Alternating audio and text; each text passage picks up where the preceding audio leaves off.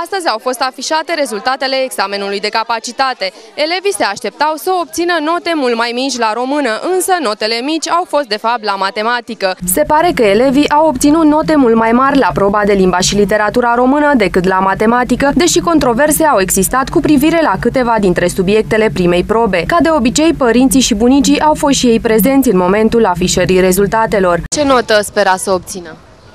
Nu știu, oricum, 7, 8 cel puțin. În așteptarea rezultatelor am întâlnit și elevi care n-au avut prea multe așteptări de la acest examen și au privit în viitor cu relaxare și realism. Cum a fost examenul de capacitate?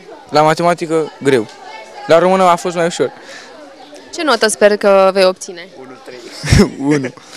La mate și sper să iau o notă mare la română. 4, 50, 5, așa. Cum era de așteptat și concluzia acestui examen este aceea că elevii se împart în două tabere în urma afișării rezultatelor, mulțumiți și nemulțumiți. 9.30 la ambele. Ceea ce înseamnă bine, te bucură rezultatul. Da. La ce notă te așteptai? Uh, tot cam așa. Ce notă ai obținut? Foarte mici, nu mă așteptam. Uh, au fost rezultatele foarte mici la toate clasele și chiar nu ne așteptam, speram să fie mai mari.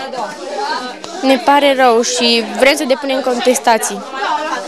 Crezi că vei obține un punctaj mai mare în urma contestației? Da. Astăzi, cei nemulțumiți de nota obținută au depus contestații, iar rezultatele finale în urma acestora vor fi afișate pe 2 iulie.